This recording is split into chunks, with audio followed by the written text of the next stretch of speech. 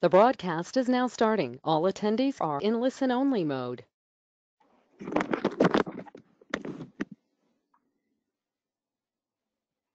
Hey, good afternoon, everyone, and thank you for joining us. We'll get started in another minute or two.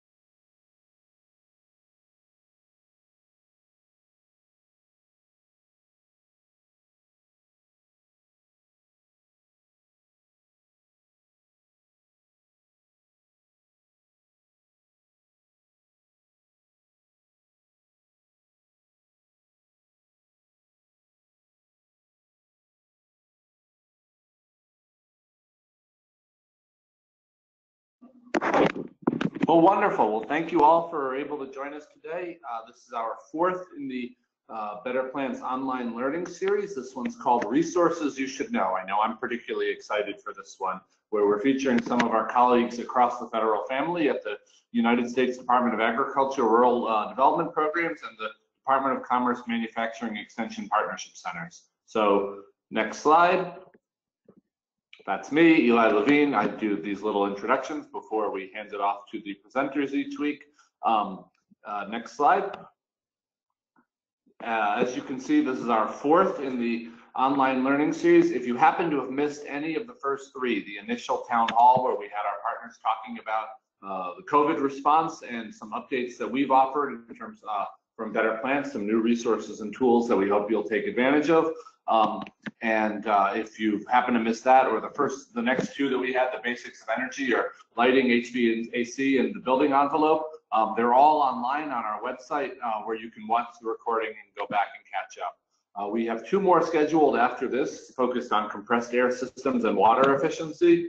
And uh, based on the response we've been hearing from so many of you partners, we may well can keep uh, this going in the future for additional weeks to come. So, should, as always, and I made this uh, pitch last week too. If there's specific topics you want to hear, or there are ways that we can improve these webinars to make them more valuable uh, to you, please let us know, and we're, we're happy to do so. Um, so with that, I'm excited to turn this over, and I'll introduce our first speaker. Oh, well, I guess before that, let me talk about our um, next. So next slide, I'll talk about our online uh, virtual leadership symposium, the Better Buildings, Better Plants 2020 Summit. Um, this is now free to attend, unlike uh, when we used to have them in person and you had to pay for registration. It should be a really great couple of days. I know uh, I've been uh, really blown away by the number of folks who've RSVP'd already, and uh, I'm pretty excited looking at the plenary uh, speakers and the panels that we're setting up. So uh, please go to the website there and, register if you can. Uh, that would be great. We, we look forward to seeing you there. Next slide. So with that, I'm excited to introduce our first speaker, uh, uh, David Stieren, who's the division chief for the extension services at the uh, the national uh, the NIST MEP at the U.S. Department of uh, the, the, U.S. Department of Commerce. Uh, Mr. Stieren's a mechanical engineer who's been with NIST MEP since 2007. prior to joining NIST MEP, he served 20 years. you know, in the NIST laboratories as a research engineer, a pro project manager, and a program manager. Um, he, he brings just really wonderful experience to this, you know, working on details on the staff of the NIST director and the uh, staff of the Office of the Secretary of Defense in the Pentagon, as well as uh, at, at our place at the Department of Energy and at the U.S. Small Business Association. So uh, I could go on and on with his uh, uh, his resume and the experiences he brings to this, but I know he's squeezing us in between a number of important meetings that they have going on over there. So I'm excited to turn this over to, to David. Dave, and looking forward to your presentation. Thank you very much, Eli. I appreciate that intro. Um, so, folks, good afternoon. It's a it's a pleasure to be able to speak to you about uh, th this afternoon about the Manufacturing Extension Partnership Program at NIST. NIST is the National Institute of Standards and Technology, and we're an agency within the U.S. Department of Commerce. Uh, NIST is a non-regulatory federal agency that has responsibilities for the nation's measurement infrastructure and the Manufacturing Extension Partnership, or MEP program, uh, is one component of NIST, and that's what I'm going to be speaking with you about today. So, Marissa, next slide, please. So I'm going to give you a little bit of an intro, folks, about what the MEP uh, program is, how we operate our national network. uh, why we exist, what we do, and then really I'm going to focus on how the MEP uh, national network is responding to um, the needs of U.S. manufacturers uh, today uh, with respect to our national emergency, including uh, both the response that we're, we're conducting as well as the work that we're doing to help manufacturers prepare for recovery from this national emergency. So, folks, in one slide, this is what the MEP National Network is. We're a non-federal um, the, the, the, program is a public-private partnership that has local flexibility and is based upon uh, an extension model. And by an extension model, what that means is that um, we at NIST MEP are the federal program managers for the MEP program. And we operate a national network of non federal assistance centers that are located in all 50 US states and Puerto Rico. There's one center in every state, and out of every uh, and out of every one of our centers, we have multiple service locations so the companies that are manufacturing product in the United States are within a two-hour drive of a point of uh, point of service from an MEP center. I mentioned that it's uh, you know an extension model. So um, the primary manufacturing companies that are served by the MEP centers are small to medium-sized companies, as defined by the SBA as fewer than 500 employees at a particular location. And the reason why the MEP program was set up to address the technical needs of these companies is that there's basically a market failure that was first identified in the 1980s and persists today with respect to the U.S. economy and manufacturers. When you look at the demographics of manufacturers, 99% of the roughly 300,000 manufacturing establishment establishments that exist in the U.S. are in fact small companies. And most of these companies do not have access to the technical expertise and the other resources that they need to be able to ensure that they're implementing the most state of the art technologies into their operations and that they have the resources that they need to be able to compete on a global basis.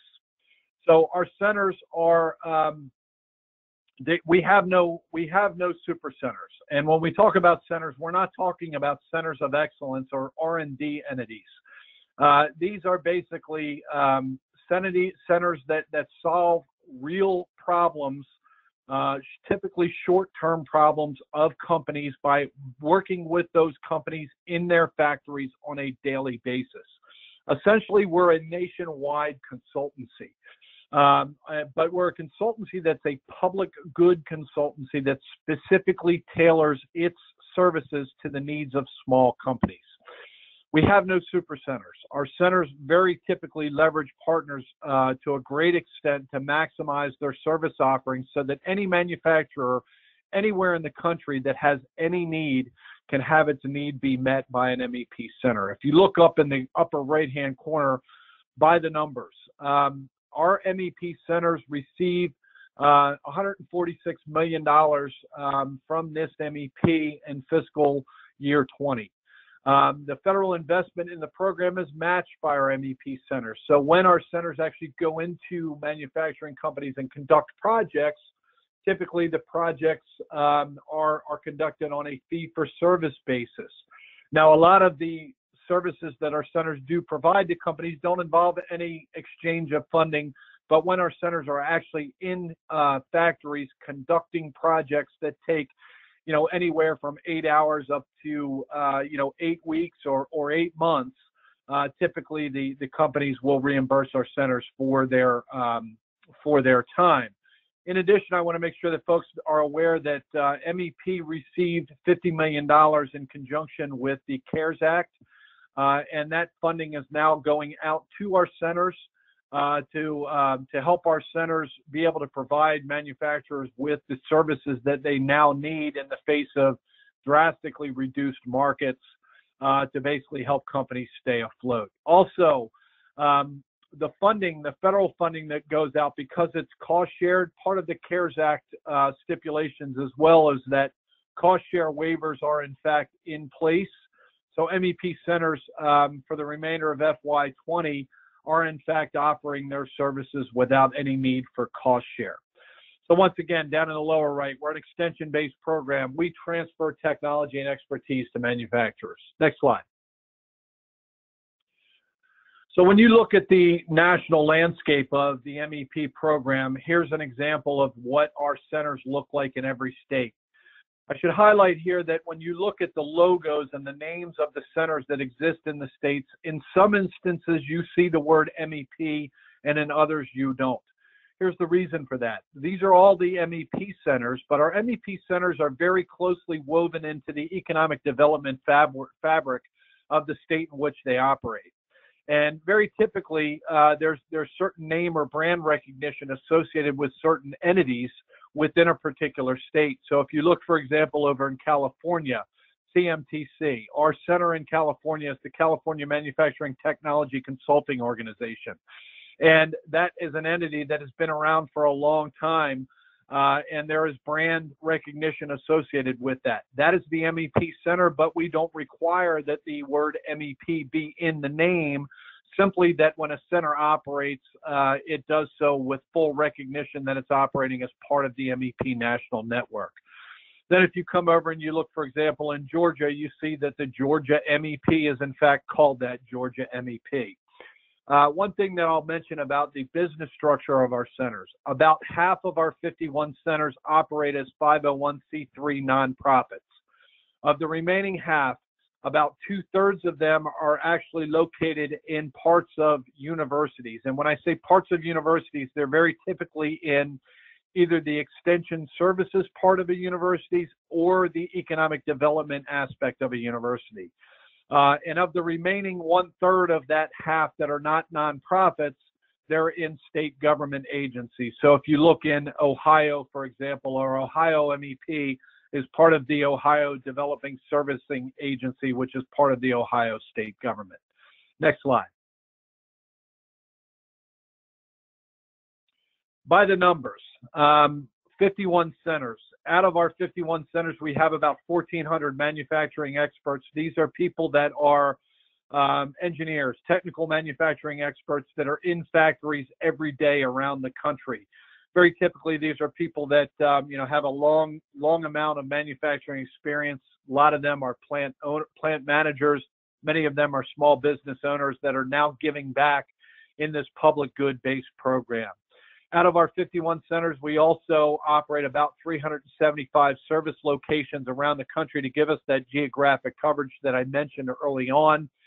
And then, in addition, because none of our centers are um, uh, super centers, we work closely with over 2,000 uh, service providers and partners that help us extend the range of the uh, portfolio of services that any and all of our centers can provide along the lines of, of service providers and partners, one of the things that is the most powerful attribute of the MEP National Network is that our centers work together. So if a, if a manufacturer in a particular state has a need that the center in that state can't meet, they'll go to a neighboring center or they'll go to one of our go-to centers that has that expertise resident and that um, that neighboring center or that go-to center will come into the other state and help meet the need of the particular manufacturing client. Next slide. So it, a program is based on partnership. The P in MEP stands for for partnership. We work closely with a lot of federal agencies and laboratories, including the DOE, uh, including the Department of Defense. A lot of stuff that we do in cybersecurity right now, we do closely with uh, the Department of Defense. Um, you know, with respect to the DOE, um, one aspect of services that we provide are process optimization, uh, lean manufacturing. And you know, when we do lean uh, manufacturing, we very often do it from a, a, lean and clean or a lean and green perspective. And a lot of times we work closely with the uh, industrial assessment centers that the DOE operates. Um, you heard me say earlier that our centers are tightly woven into the economic development fabric of states. So very closely, you know, our centers work with uh, state governments. Uh, in today's national crisis, our centers work closely with um, state state health departments, with governors' offices, and are really viewed as that go-to resource within the within a particular state um, for access to manufacturers. You heard me say that you know we're we're part of economic development We work with a lot of third party economic development organizations, um, many of which are international, by the way. We also do a lot of work with community colleges, technical schools. A lot of the stuff that we do involves training, and, and a lot of times we'll refer clients to training courses uh, that are available through community colleges and technical schools. And we also do work with universities when there are technical aspects of the work that we do and it makes sense for us to partner with universities.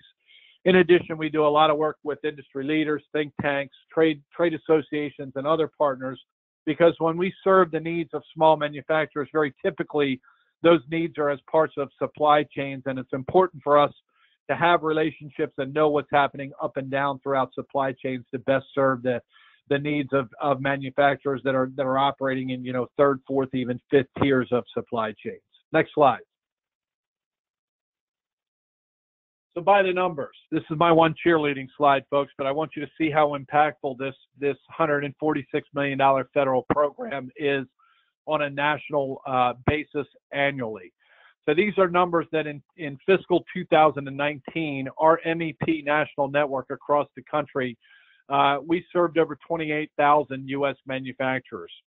When we conduct projects with those companies, and typically we conduct about nine or 10,000 projects annually, we have a third party um, survey process that, that we use that's independent that goes to the clients that we serve and asks the clients to report data to us that describe, that detail the impact of the services that our centers provide to them based upon uh, the the project uh, survey results from 2019 alone, MEP Center services for small manufacturers across the country resulted in almost 115,000 jobs being either created or retained at those companies. $15.7 billion in new and retained sales for those companies, about $4.5 billion in total investment uh, by those companies into their businesses and about a billion and a half dollars in cost savings. So, folks, when you look at these numbers, you know, for $146 million federal investment, this is a very impactful national program for the U.S. economy and specifically for the manufacturing sector of our economy. Next slide. So, how do our centers work with clients? There's no cookie cutter approach. But if I break it down into a, a common theme, basically our centers have contact with companies and that contact can occur through a lot of different mechanisms. It can be web-based marketing. It can be group lunch and learns. It can be webcasts. It can be, you know, word of mouth referrals. It can be companies one at a time or companies by the hundreds. After the initial contact, um, there, there's, there's typically a discussion that occurs about a topic. Once that discussion occurs, our centers will then do an assessment of a manufacturer uh, that will um, basically detail what the manufacturer is doing and where they might need to get to, and that will identify any potential issues uh, that can lead to a, a defined project approach, um, you know, and and um, a means by which gaps can be closed and strategies can be capitalized on. The center will then negotiate with the client whether they actually want to proceed forward and address, uh, you know, what the center identifies as opportunities, um, you know, to solve problems or, uh, you know, capitalize on on new growth opportunities or new business opportunities. And then our centers will will execute a project uh, that will involve either center staff, partners, or third-party consultants, or some combination of all of those. And typically, MEP center projects for companies can be as small as a couple of hours or as long as a year, depending upon the nature of the technical work that we're doing. And then, as I mentioned, we always have follow up when we go back uh, on, through an independent third party and ask the manufacturers to tell us about the impacts of the work that we did for them. In the middle there, you see the net promoter score. That's an aggregate number um, that is used as a, uh, a representative of if a manufacturer would refer the MEP center to a friend or family member. And typically, a net promoter score of 50 or above is considered very good. An aggregate score of 85 is considered excellent across the national network. Next slide. Every year when we ask our clients about the impacts of the work that we do for them, we also ask them what their challenges are. And I just put this up here so that you're aware that among the nation's small manufacturers that we serve, cost reduction is an ongoing and ever-present issue. These were identified during our 2019 uh, client impact survey. Uh, workforce is always uh, always there. Clients seeking to grow, uh, manufacturing companies seeking to grow. Product development issues are uh, are ever present, as are sustainability issues. And I'll give you some details about things that we do with respect to sustainability. Next slide, please. So, what do our centers actually do? Uh, this is not uh, exclusive, excuse me, this is not all inclusive, but this is representative of the types of technical assistance that we offer to companies. I'll start with sustainability. We've had a long-standing um, program that works closely with the Department of Energy and with the EPA, uh, looking at uh, energy, uh, the environment, and the economy, or E3. And what we do as part of that program, and in conjunction with our, uh, you know, process optimization activities and ISO and quality work that we do, is we help companies identify how they can drive waste out of their manufacturing processes, including energy and emissions related waste. That's a uh, that's a common program across our MEP national network. In addition, we do a lot of things relating to cybersecurity. How do companies uh, put in place the protections that they need to protect their online and information-based assets. Uh, lean and, and the next evolution of lean, Toyota Kata, that's a you know that's a core competency across the national network. Workforce development is is something that's ever present. You know how do companies uh, attract and retain and retain and retrain uh, you know the workforce that they need. Industry 4.0 and advanced manufacturing technology is a very hot topic for us today. How do companies better connect the cyber and physical uh, systems that are part of their manufacturing environments to uh, to make their products better, cheaper, and faster and more innovative? We help companies export. Um, you know, we help companies with risk mitigation. We do a lot of work in the food industry, um, folks, where we help food companies um, you know, to, to, to put in place safe food manufacturing practices. And I also want to highlight that, you know, here um, we address basically every industry within the manufacturing sector, whether it's uh, energy products manufacturers or chemical manufacturers or food companies, uh, defense contractors, transportation manufacturers, metal workers, whatever. Literally, if it's uh, companies that have NAICS codes that begin with 3-1, 3-2, or 3-3, uh, they're they're in scope for the work that we do. One thing other also that I want to highlight here is that this broad portfolio has really positioned MEP centers to be able to respond very well to the current uh, national emergency that we're facing. And I'll give you some info in the coming slides about what we're doing there. Next slide. So what are we doing right now in, with respect to the national emergency? Folks, our centers are on the front lines right now. They are responding immediately to help small manufacturers um, stay afloat. You know, the, the, the markets are shrinking. A lot of companies have excess capacities and capabilities and they want to pitch in and help. So there's really four main areas where um, our, our, our, centers are, are working to help companies um, as well as help the overall um, U.S. national needs with respect to PPE, medical equipment, and supplies. But our response really boils down to connecting resources to needs, working directly with state governments, addressing addressing specific production and technology issues with manufacturing of PPE, medical supplies, and medical devices. And then while we're doing all of this, just basically maintaining base operations and serving all manufacturers whether those companies are responding to the national emergency or not. And as I mentioned earlier, we got a slug of $50 million through CARES Act funding that's helping us do this. Next slide, please. So quickly, I want to highlight the four areas. We're connecting resources to needs. I'm not going to reach, I'm not going to read all of these words, but we're doing things associated with supply chain mapping. Where do, where do suppliers exist that can meet critical PPE needs? how can we match resources uh, to needs in medical medical and food supply chains? you know, what are what are manufacturers that have capabilities and capacities that are not currently operating in these supply chains, but that can pivot to do that? How are we connecting with our state government partners and agencies to operate supply chain portals? And a lot of MEP centers are in fact doing that. And then, you know, how what are we doing as far as workforce and, and what are the, the workforce issues associated with this and then and then partnering with federal agencies. Next slide. With respect to uh, working directly with state governments, again, MEP centers are really being positioned right now as the go-to central hub within many states for uh, accessing um, the, the, the, production and manufacturing capacity and base within states to meet both state-based needs uh, and um, you know national needs overall. Uh, and and one of the things that's cool that we're doing is serving as a connection between the manufacturing industry and state procurement efforts, uh, as well as as I mentioned earlier, you're managing this supply chain, these portals that are linking manufacturers to demand uh, for the, the, the, the, the present uh, critical, critically needed and short supply items. Next slide.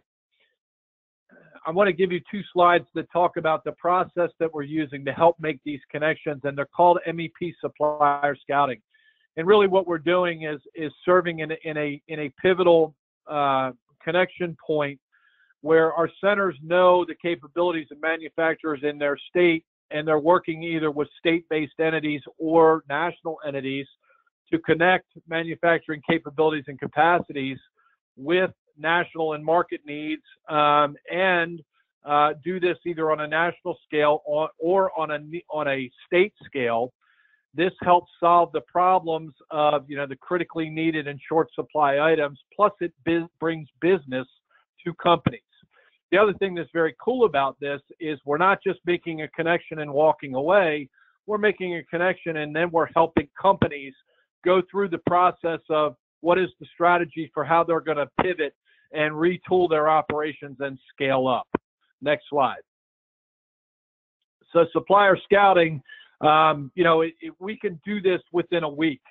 Um, you know, we identify a need and we can go out and conduct an analysis on a state level or on a on a national level and give a high fidelity of results that are companies that can meet needs and we can give answers within one week and that's very quick. Uh, and we're proud of the fact that we can do that. And the key to our success here is our national network, not the tools that we're utilizing, but the fact that we have this national network with a presence in every state and this deep and broad understanding of manufacturing capabilities. Next slide. The next area that we're doing to, uh, you know, address is we're, we're, we're addressing specific issues with the manufacture of PPE, uh, you know, medical supplies and medical devices. And, you know, we're helping companies go through the process of certification when they need it. Uh, you know, we're helping them enter new markets when they don't understand how to do that. Um, you know, a lot of things, um, you know, have to do with legal liabilities, and, and we're helping companies go through the process for products that include gloves, face shield, you know, masks, um, catheters, you know, medical supplies, oxygen masks, nasal, uh, you know, cannulas, uh, and then different types of devices, including beds, infusion pumps, uh, you know, pressure rooms, and, and the like. And there you see a listing of the different types of devices and supplies that we're focused on right now. Next slide.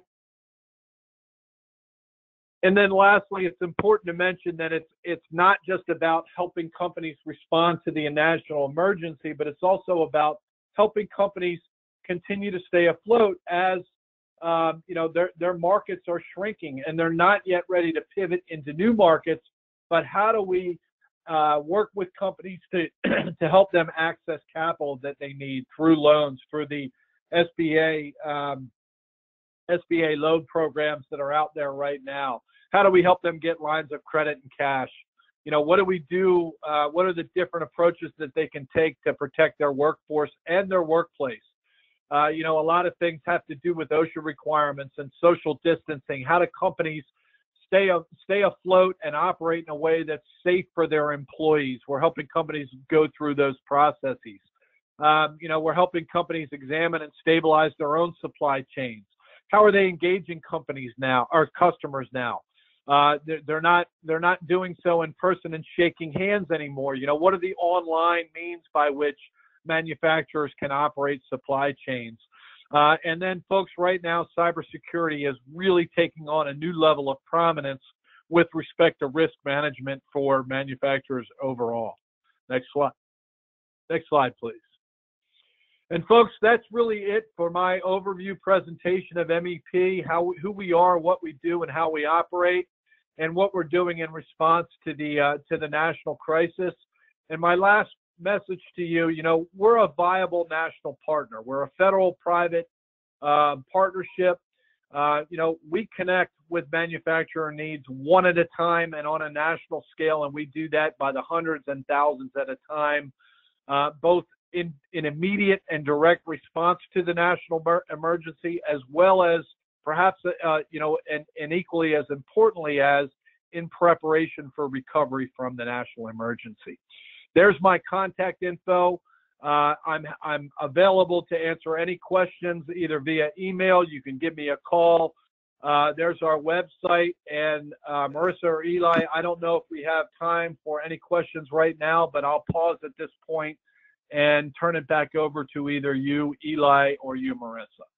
Uh, thanks, Dave. This was really awesome. I, every time I, I think I start to have a handle on all the great stuff you're doing, I sit and listen to a presentation and learn so much more. So uh, just on behalf of you know all of us, just thank you guys for the, the important role you're playing now and, and general supporting you know our, our manufacturing competitiveness. So it's it's 1:31, Dave. So maybe I'll I'll ask uh, one question. If, if anyone has a question, please type it in. But maybe I'll like I'll, I'll see one question we got, and then uh, I know you do have to uh, jet off to another meeting, so I appreciate you leaving your contact information.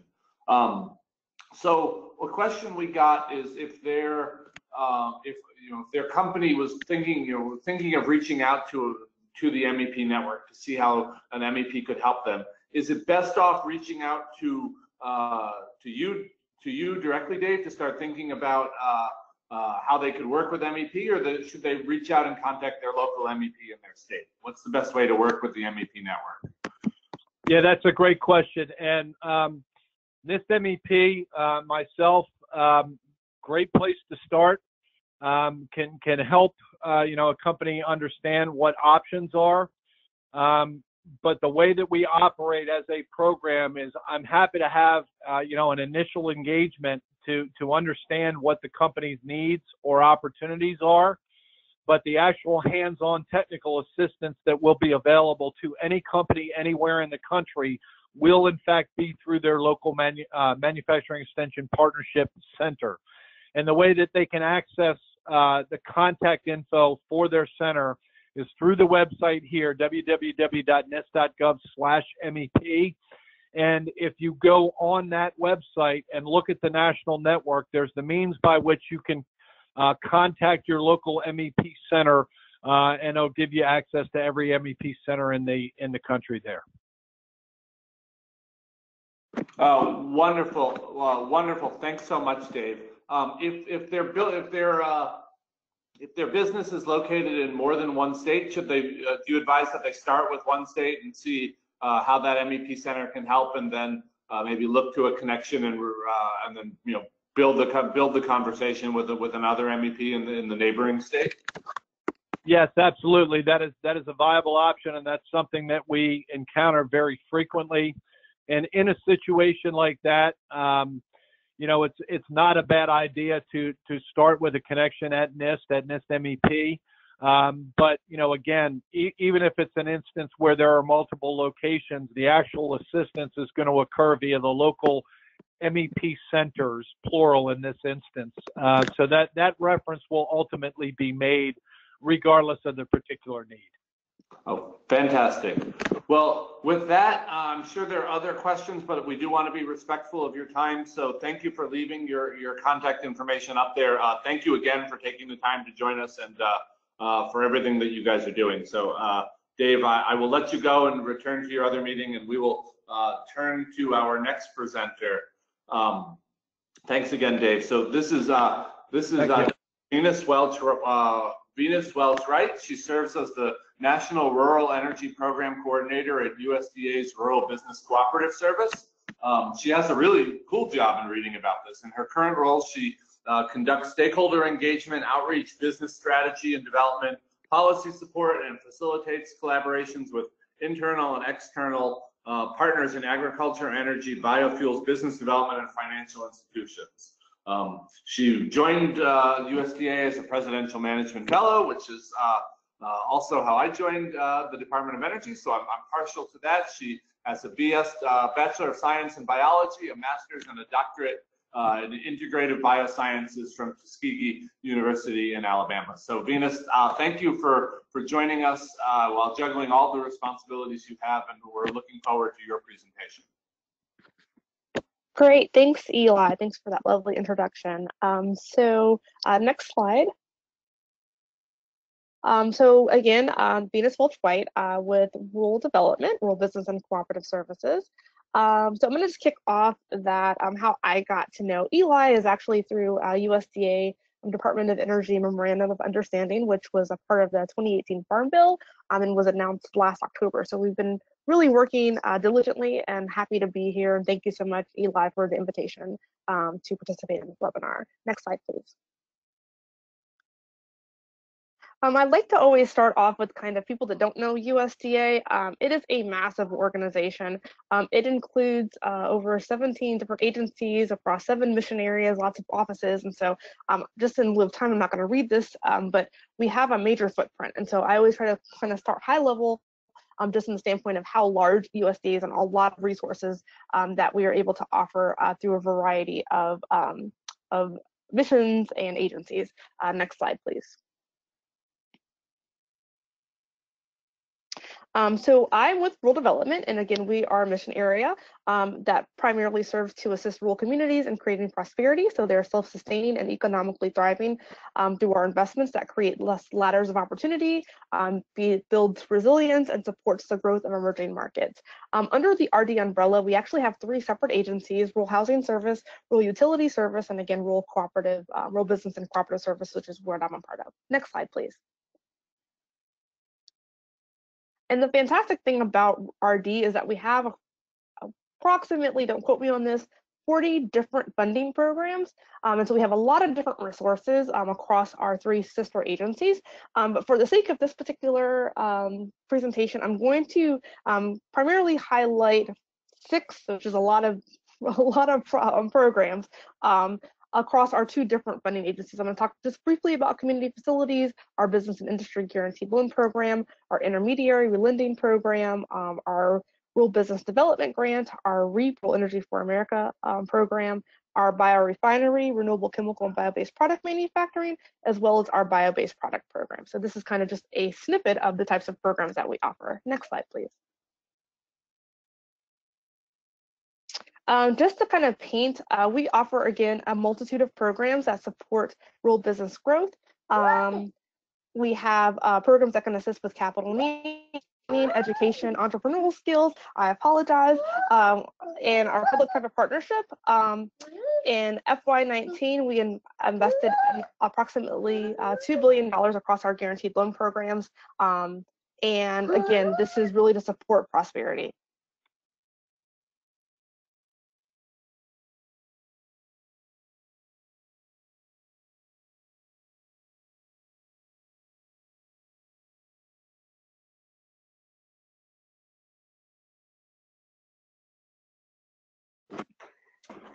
As we pause here for a moment, just a reminder to uh, type in your questions and we'll be able to uh, we'll be able to answer them at the uh, at the end of the webinar.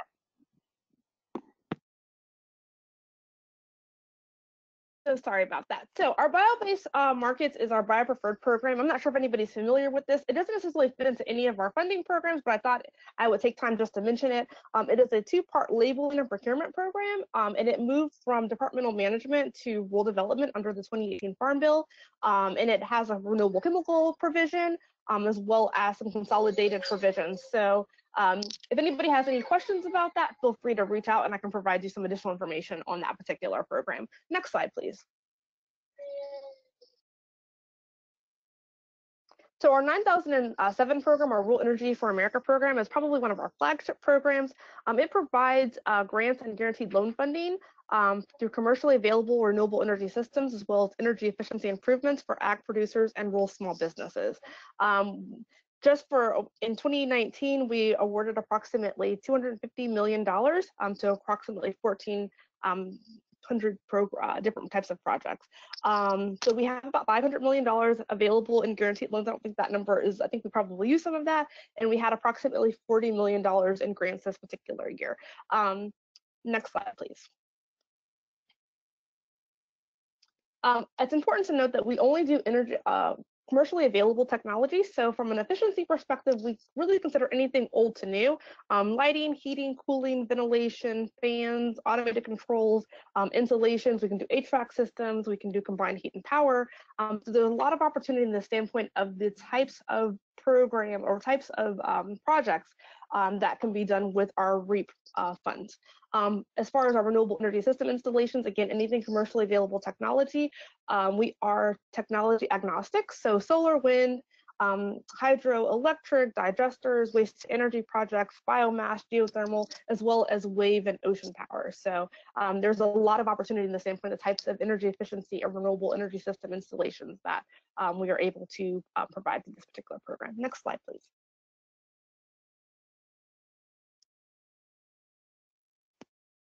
Um, so for our grants, um, we were able to do approximately um, a maximum of 25% of our total eligible project cost. Um, the deadline for this particular year uh, ended on March 30th. However, we accept applications year round. Um, one thing to note uh, we have priority for POP for um, programs, I'm sorry, for applications or projects that um, the grant request is for 20,000 and less. Um, those are, we actually have some set aside funds. And so those projects, those smaller projects don't compete with the larger projects. Um, and the application deadline, priority deadline, at least one of them is October 30th. So um, if anybody's interested, um, we can definitely um, get some information on kind of teeing up what that looks like. Our maximum grant request for our renewable energy systems is 500,000. Um, which would mean a total eligible project cost of 2 million. Um, and then for our energy efficiency improvements, um, our maximum uh, grant request is $250,000, um, which would be a total eligible, eligible project cost of a million dollars.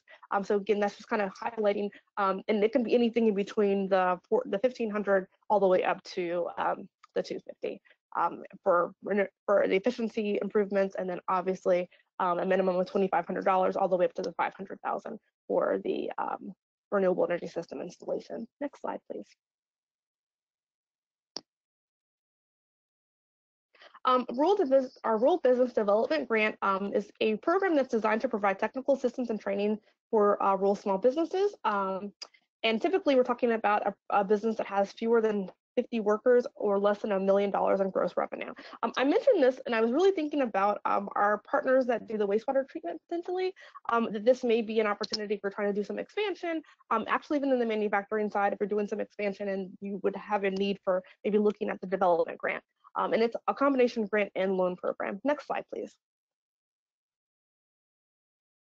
Um, there are two different types of support. There's an enterprise grant um, that's more training and technical assistance, project planning, um, business consulting, um, feasibility studies. Um, and then there's an opportunity grant that supports kind of analyze uh, business opportunities. Um, again, these are the primary applicant would actually be a nonprofit um, and would probably need to partner with another entity. So um, if anybody has any questions on this, we can definitely, um, I can provide some links um, post, um, but just kind of wanted to put this out here that we do have some um, development grants as businesses are trying to expand. next slide, please. So I'm going to shift into our loan programs. Um, again, we provide uh, direct loans as well as loan guarantees under um, various programs within our three agencies. Um, for our loan programs, any guaranteed loan program that the bank is actually our applicant, um, which could be um, a credit union, farm service agency, and an approval lender, um, community banks, large banks, and so we we kind of evaluate the banks, but again, the lender is our is our applicant. Um, the interest rates and repayment terms are negotiated between the borrower and the lender with our concurrence.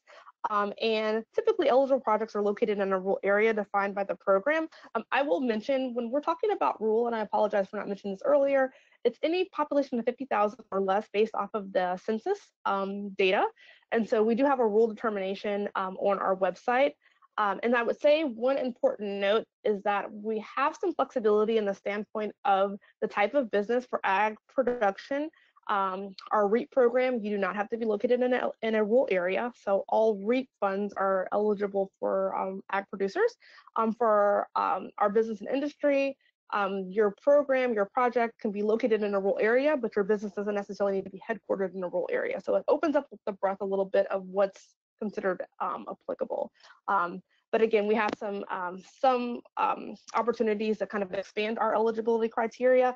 Uh, one of them is for REAP for ag production, and the other one is for healthy food uh, for business and industry that are not restricted to rural. Next slide, please. And I'll talk about both of those programs um, on the guaranteed loan side. So our business and industry might be considered our flagship loan program within RBS. Um, it is designed to improve development or finance um, industry and employment, um, as well as economic, um, environmental, and climate conditions um, in rural communities. Um, again, this is not necessarily a loan for substandard or marginal loans. There are programs that are out there that are yeah, you can have no other commercial lender, but this is not necessarily, this is not one of them. Um, and so uh, we have competitive rates and those rates are being, are able to be negotiated between the lender and the borrower. Next slide, please.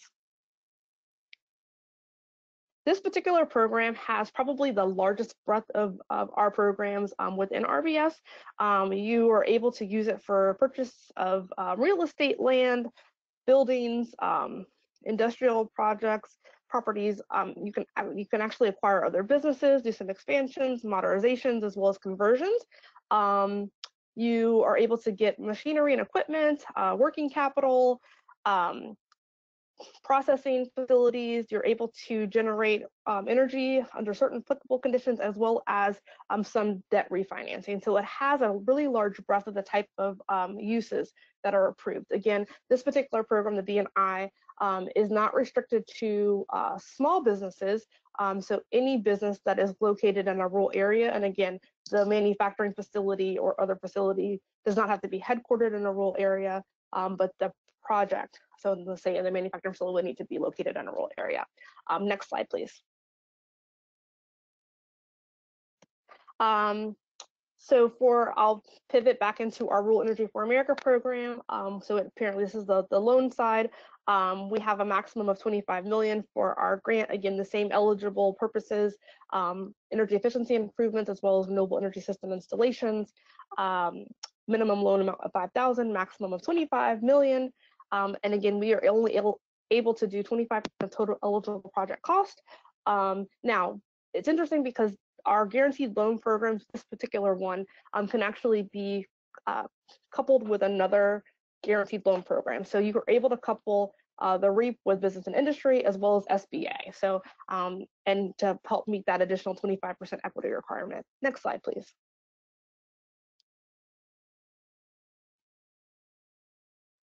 Um, again, this is kind of just a mention. Um, typically, we have a 10 million uh, standard for our loan amounts. Um, however, uh, our our maximum loans for our business and industry, and again, our REAP are 25 million.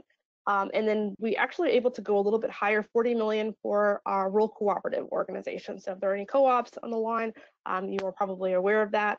Um, so again, um, our our um, loans can be actually combined to maximize the guarantee amounts and reduce the equity requirements. Again, I mentioned the BNI can be coupled with REAP. It could also be coupled with SBA. Um, if there's any, um, from an ag perspective, we could also work with FSA, which is the Farm Service Agency. They also have loans, um, and those can be mirrored together as well. Um, next slide, please. Um, just to kind of paint the numbers um, in FY18, um, BNI closed 340 um, loans, um, obligated about $1.2 billion. Um, so again, um, we have an appropriations of 1.2 billion. So this is the largest program that we have in the standpoint of funding at RBS. Next slide, please. Um, our renewable um, biorefinery renewable chemical and bio-based product manufacturing assistance program um, is a, a, program that supports um, integrated demonstration units for emerging technologies to full-scale commercialization. Um, you can produce an advanced biofuel, a bio-based product, or a renewable chemical, um, or any combination thereof. Um, and so the maximum guaranteed for this is $250 million. Um, it's a pretty lengthy process in the standpoint of um, the type of the application process. It's done in two phases. Phase one is done, you need basically a um, feasibility study, um, some marketing materials, you need to have your lender together and we can talk offline if there's somebody that's very interested in this. Um, however, we have two different application cycles for this particular program, program um, April 1st as well as October 1. Um, and so if anybody's interested, I can definitely um, provide some additional details. Um, but it's a pretty good program. I would say from a manufacturing perspective, you're really talking about more bio-based product manufacturing, which could also be used as an intermediary. So you don't necessarily have to manufacture said product. You could be manufacturing an intermediary is going to be used into another process. Um, let's say a um, or maybe a bio-based um, plastic or a bio-based straw. Um, and so you could be using the uh, the resin um, and manufacturing essentially that. So um, there is a lot of opportunity for this particular program. Next slide, please. Um, we also have an intermediary relending program. Again, I was really thinking with this particular slide about um, wastewater treatment facilities. Um, essentially, what this program does is provide a low interest loan uh, to local lenders or intermediary intermediaries that will relend um, to businesses to improve economic conditions. And so um, this could actually be used for both um, wastewater treatment facilities as well as manufacturing facilities. Um, and so in sake of time, I'm not going to go through all of this slide, um, but I do think that it's a really good program and it provides um, some, you know, some additional funds and accessing capital depending on where these particular businesses are located. Next slide, please. Um, again, this is a little bit more information about the uh, the relending program. Um, and again, uh, being able to apply for an intermediary. So again, for, for sake of time, because we are getting pretty close, I'm going to just bypass this. Next slide, please. Uh, community facilities. Um, so community facilities is actually a grant and loan program. I'm wanna, really going to talk about the guaranteed loan component. Um, it is essentially a community facility that provides essential services to the local community in a rural area. Again, I was really thinking along this line for the wastewater treatment facilities. Um, it and so this program has a little bit of a different definition for rural. Um, the guaranteed loan program um, is for designated places of population 50,000 or less. However, um, they use a little bit smaller designation for direct loans and grants, which is 20,000 or less. Um, eligible borrowers include public bodies, community-based nonprofit corporations, as well as uh, federally recognized tribes. Um, and it has a wonderful breadth of the types of things that it can fund. Um, and so I wanted to mention this because it really um, provides um, a very good snapshot on the standpoint of the types of resources that are available um, through the USDA, um, but it could be used to purchase, construct, improve essential community facilities, purchase equipment, um, pay for related project expenses. Um, it does not have a maximum on the guaranteed loan amount either. Um, so it is really a fantastic program. Uh, next slide, please. Um, I also wanted to mention really looking at kind of in the standpoint of leveraging and real and recognizing what types of resources are available, really looking at leveraging the RBS um, programs with incentives and tax credits. Um, there's a lot of different types of investment incentives and tax credits that can be used in tandem with our programs. Um, these include but are not limited to opportunity zones, um, new market tax credits, investment tax credits, carbon capture tax credit, um, state energy programs, and other tax credits, as well as secondary market sales and revenue.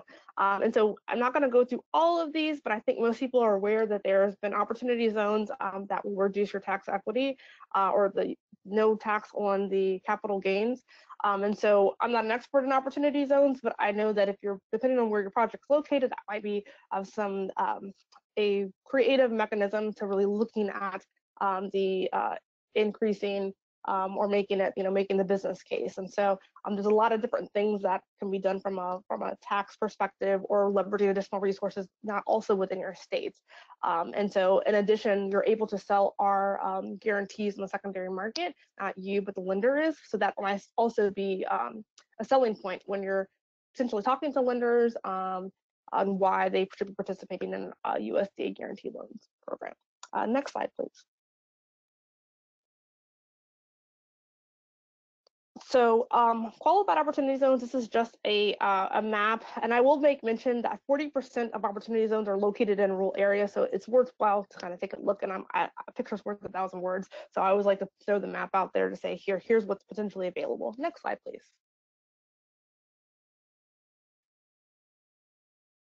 Um, so I'm going to just give a couple very quick um, examples and success stories. Um, we were able to do a rural electric cooperative um, utilizing um, $13,000 REAP grant uh, for efficiency um, of glass roof, radiant heat, um, fans, vents, and some computerized controls, um, resulting in 66% reduction in energy cost. Um, next slide, please. Um, we have a guaranteed loan that's REAP um, that Merrill Manufacturing was able to utilize the purchase and installation of energy efficiency heating and cooling system, um, resulting in a reduction of their energy cost. Um, next slide, please. And got one business industry loan guarantee um, that was a business in Ohio. Um, they were able to purchase a high pass air compressor system um, to improve the efficiency of their drillers operation, um, a little over $2 million in total project cost. Um, and the lender is Byline Bank. Next slide, please.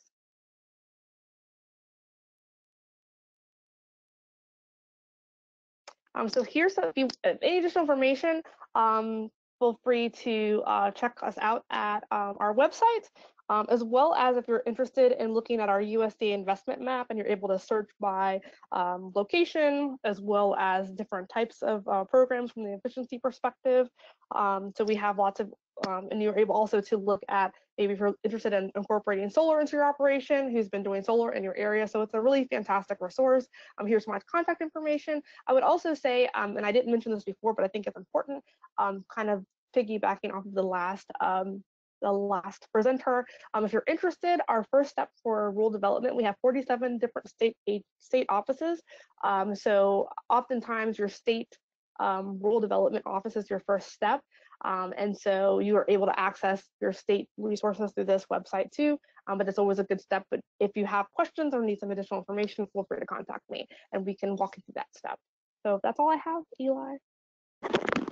Wow, uh, Venus, that was really great. I uh, every time uh, I start to feel like you know the Department of Energy is your one-stop shop for uh, helping you with your energy uh, management needs, a webinar like this comes around, and I feel like we are just one small piece of the pie of how the federal government is looking to help people. So I am uh, uh, I I have a lot of homework to go back and you know really familiarize myself with a lot of these resources. Um, uh, so again, if folks, we have a maybe three minutes or so until we should wrap up here. But if folks have questions, please uh, submit them. Um, one question that I saw come in was that you, you may have addressed just now, uh, concerned, you know, if I'm trying to figure out which of these programs is right for me, is there a central place where I can compare and contrast them or uh, understand, or is it best off for me just to call my state uh, my my USDA state energy office to to talk through with someone and then you know describe my describe my business and understand how uh, uh, how you know how one of these might make sense for me.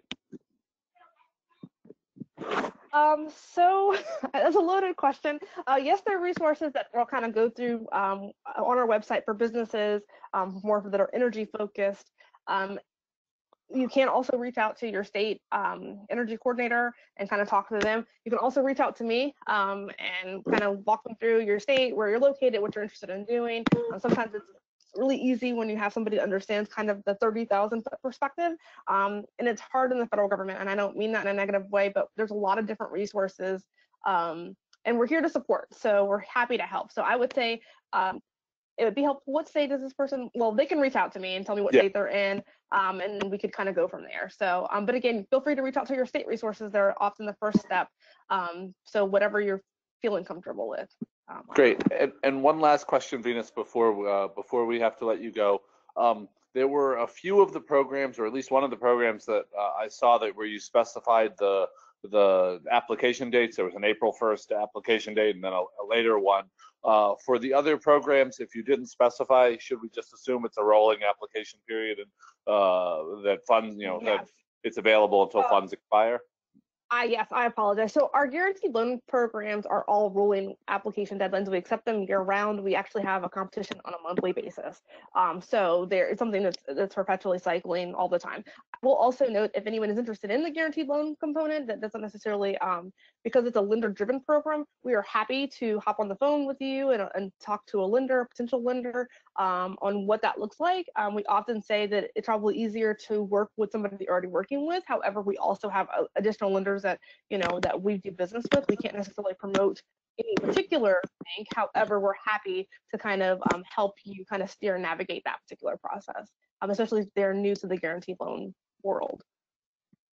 Oh, Fantastic. That's uh, that's great, Venus. Thanks so much. Um, well, we have your contact information up there, and we'll, you know, the slides will be available for everyone uh, to go back and, uh, you know, we've recorded this webinar, so if there's anything you missed or wanted to review again, we'll be sharing that with everyone on on our website. Um, so, uh, Marissa, are there any next slides? Do we do in the past? We have. I should have checked, but um, in case not, I, I want yes. so this is our Better Building Solutions Center. Um, this is a reminder on how to use it and uh, leverage all of the, the resources that we have out there. There's a little mouse is doing this for me, um, which is which is really great.